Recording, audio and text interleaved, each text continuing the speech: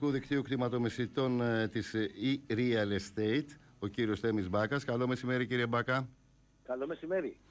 Λοιπόν, τώρα, ε, τι γίνεται με τα ενίκια, με τις αγορές ακινήτων μέσα σε όλη αυτή την ακρίβεια; Πώς είναι η αγορά, πώς διαμορφώνεται; Κύριε Βούλγαρη, όσον αφορά τις ε, τιμές ενοικίων, βλέπετε και εσείς κυρίως από αυτό που θα συζητάτε λογικά, ότι οι τιμές έχουν αυξηθεί από το 2018 και το 2022 από 25-30% όσον αφορά το καιρό της Αθήνας 10-15% περίπου στους όμορους δήμους, ενώ στο υπόλοιπο Αττικής περιοχές που σε παρελθόν λέγαμε ότι τα ενίκια είναι πιο λογικά σε πιο προσιτές τιμές και για σπίτια νεότερα ηλικιακά, τα τελευταία δύο χρόνια καταγράφονται αυξήσεις σε ζητούμενα μισθώματα ακόμα και 40 και 50%. Ακόμα οι τιμές οι συγκεκριμένες περιοχές διαθέτουν ευκαιρίες στο, στη λογική ότι κάποιος επιθυμεί να μετακινείται με το μετρό ή να χρησιμοποιεί το αυτοκίνητό του εάν έχει βενζίνη να βάλει. το θέμα είναι όμως ε, κύριε Βούλγαρη ότι οι τιμές των ενοικίων πραγματικά έχουν καταγράψει αυξητικές τάσεις οι οποίες καταγράφονται και από τη Eurostat το 2019 όπου ανέφερε ότι το 62,1% των ενοικιαστών στη χώρα μας δαπανούσαν πάρα από το 50% του εισοδήματος για το κόστος στέγασης, όταν σε αντίστοιχες στις άλλες χώρες όπως η Γερμανία στο 17,7%, η Ισπανία στο 27% και η Κύπρος μόλις στο 4,4%, η χώρα μας ήταν πρωταθλήτρια. Ξεφύγα το 2019, το 2022 με τις ραγδαίες αυξήσεις, ότι αυτό το ποσοστό πλέον έχει αυξηθεί κατακόρυφα αν κάποιος σκεφτεί και, σε συνάρτηση με το κόστος πλέον της ενέργειας που ουσιαστικά επιβαρύνει καθοριστικά το κόστος στέγασης. Στο μεταξύ με τις ε, νέες οικοδομές έχω παρατηρήσει ότι έχουν αυξηθεί πάρα πολύ και τα αλουμίνια και τα σίδερα, τα μπετά, όλα πια έχουν ακριβήνει έτσι. Και βλέπω κάποιες ε, οικοδομές που ενώ περιμέναμε ότι θα τελειώσουν, βλέπουμε ότι είναι ακόμα στο, είναι για πει. Και ενώ βλέπαμε, ε, ξέραμε ότι δεν χτίζονται σπίτια με τα μνημόνια, με όλα αυτά, ξαφνικά είδαμε να αλλάζει αυτό το κλίμα. Αλλά ξανά η ακρίβεια. Γιατί αν ανέβει, ας πούμε, το σίδερο ή το αλουμίνιο 150%, πώς θα το πάρει ο εργολάβος, τι θα κάνει; Κύριε Βουγάρη, έχετε απόλυτο δίκιο. Και αυτό σημαίνει και στην τελική τιμή του σπιτιού μετά, έτσι.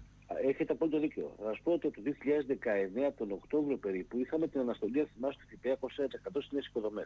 Ένα μέτρο που πυροδότησε πραγματικά την οικονομική δραστηριότητα. Γι' αυτό όλο το χρονικό διάστημα των δύο ετών, τριών περίπου, καταγράφουν αυξητικές τάσεις όσον αφορά την έκδοση οικονομικών ιδιωτικών αδειών. Το θέμα είναι ότι το τελευταία δύο χρόνια είδαμε και να πραγματοποιούνται νέες οικοδομές, δηλαδή οπωσδήποτε έχει κινηθεί σαν νότια προάστη, στα βόρεια προς, στα δυτικά προς, στα γενικότερα στην Αττική, να υπάρχει μια έντονη ανοικοδόμηση σε σχέση με τα, τα χρόνια των μνημονίων όπου η οικονομική δραστηριότητα έχει αγγίξει σχεδόν τον, το, το μηδέν. Δεν υπήρχε ναι, κάτι ναι, ναι. στο, στο, στο λεξιλόγιό μας. Τότε συμβαίνει, συμβαίνει το εξής. Πάρα πολλοί κατασκευαστές όπως έχετε δει και εσείς, που προσπαθούν να πουλήσουν οι άνθρωποι, επειδή δεν υπήρχε και ο τραπεζικός δανεισμός τόσο εύκολο όπως το παρελθόν, προσπάθησαν οι άνθρωποι να πουλήσουν ακίνητα από τα σχέδια. Σκεφτείτε ότι μια οικοδομή περίπου το 60 με 70% πολλές φορές είχε πουληθεί ακόμα και από τα σχέδια. Που σημαίνει ότι ο κατασκευαστής με τον ενδιαφερόμενο αγοραστή mm. είχαν ήδη συμφωνήσει την τιμή πώλησης και ο κατασκευαστής ήταν υποχρεωμένος εντός 12-18 μηνών να παραδώσει πλέον το ακίνητο. Τώρα βλέπουμε τους κατασκευαστές, οι άνθρωποι έβρισαν σε πολύ δύσκολη κατάσταση γιατί είχαν κλείσει μια συγκεκριμένη τιμή πώλησης του ακινήτου και πλέον είναι αντιμέτωποι με ραγδαίες αυξήσεις οικονομικά υλικά που αγγίζουν ακόμα και το 30%. Άρα ο κατασκευαστής δεδομένη χρονική στιγμή ο άνθρωπος έχει σχεδόν μηδενίσει το κόστος του, το κέρδος του συγγνώμη, πρώτον, και δεύτερο σημαντικότερο στοιχείο είναι ότι προσπαθεί να βγάλει τη χασούρα ή να ισορροπήσει κάπως τα πράγματα από τα υπόλοιπα μη, μη πουληθέντα ε, διαμερίσματα. Τώρα τα κίνητα που βλέπετε εσείς, τα οποία έχουν σταματήσει να γίνονται εργασίες, γίνονται, έχει σταματήσει μάλλον αυτή τη εργασίες, διότι οι κατασκευαστές κατούν μια σας αναμονής. Είναι τόσο πολύ ψηλό το κόστος κύριε Βουργαρή, που δεν ξέρουμε πραγματικά αυτό το κοστολόγιο ποιος θα απορροφήσει. Να τα απορροφήσει ο κατασκευαστής από το κέρδος του. Πολύ λογικό, εγώ δεν διαφωνώ καθόλου να τα απορροφήσει ο κατασκευαστής, αλλά να δουλεύει τσάμπα δεν γίνεται με αυτό το ρίσκο. Δεύτερο στοιχείο. Μπορεί η αγορά μας στη δεδομένη χρονική στιγμή οι ενδιαφερόμενοι αγοραστές να δουν ε, επιπλέον ραγδαίες αυξήσεις ζητούμενες τιμές πώλησης. Δηλαδή μπορεί η αγορά τη δεδομένη χρονική στιγμή να δείξει επενδυτικό ενδιαφέρον και αγοραστική δύναμη. Και τρίτο στοιχείο αυτό που βλέπουμε εμείς ως πιο λογικό να συμβεί είναι να πιεστούν τα ποστά αντιπαροχής και τιμές των οικοπαίδων.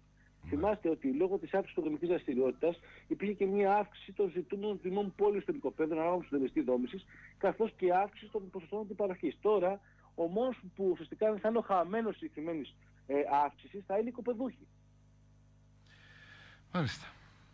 Για να δούμε πώς... Κύριε Βουλγαρή, ξέρετε κάτι, ναι. ζούμε σε μια εποχή που οποιοδήποτε κάνει προβλέψεις μπορεί να είναι και λανθασμένες. Ξέρετε, οποιαδήποτε κρίση για να μπορέσει να έρθει προς τη δική μας την αγορά των ακινήτων θέλουμε 6 με 8 μήνες. Εμείς είδαμε και χθε την Τάπτα της Ελλάδας που ανέφερε ότι το Δέλτα Τρίμηνο του 2021 οι τιμές των ασανιόμενα ε, ακίνητα αυξήθηκαν κατά 9,1% σε σχέση με το αντίστοιχο τρίμηνο του 2021. Είναι, το 2020, συγγνώμη. Είναι σημαντικό ότι η κτηματαγορά βγήκε από αυτόν τον βάλτο των 10 ετών, κύριε Βουλγάρη. Το θέμα να δούμε από εδώ και πέρα τι θα γίνει. Κρατάω πάντως ότι έτσι όπως είναι τα πράγματα, αυτό που είπατε, ότι δεν μπορεί κανείς να κάνει πρόβλεψη πια. Κύριε Βουλγάρη, είναι πολύ παράτολμο διότι βλέπουμε ότι και τα εισοδήματα των ανθρώπων έχουν συρρυκνωθεί. Σκεφτείτε, ναι, υπήρχε ναι. μια έρευνα το προηγούμενο χρονικό διάστημα που ανέφερε ότι ο, ο μέσος ιδιωτικός μισθός το τη δεκαετία 2009-2019 μειώθηκε κατά 24,4%. Σκεφτείτε να έχει μειωθεί ο μισθός 24,4% και παράλληλα να είσαι αντιμέτωπος με τόσο υψηλές και ραγδαίες αυξήσεις. Είτε λέγεται βενζίνη δεδομένη χρονική στιγμή, είτε λέγεται κόστος ενέργειας, είτε λέγεται αύξηση του μισθωμάτων. Δηλαδή οι άνθρωποι πραγματικά περνούν πολύ δύσκολα και σύμφωνα και με έρευνα της ΓΕΣΕΒΕ ανέφερε ότι 3 στα 4 νοικοκυριά στις 19 του μήνα δεν έχουν χρήματα, έχουν τελειώσει. Ναι, έτσι είναι, έτσι είναι. Κύριε Μπάκα, να σας ευχαριστήσω πολύ. Να είστε καλά, καλή συνέχεια. Να έχετε καλό, καλό τρίμηνο, εγώ θα ευχηθώ. Καλό τρίμηνο, να είστε καλά. Γεια σας. Να συνδεθούμε λίγο με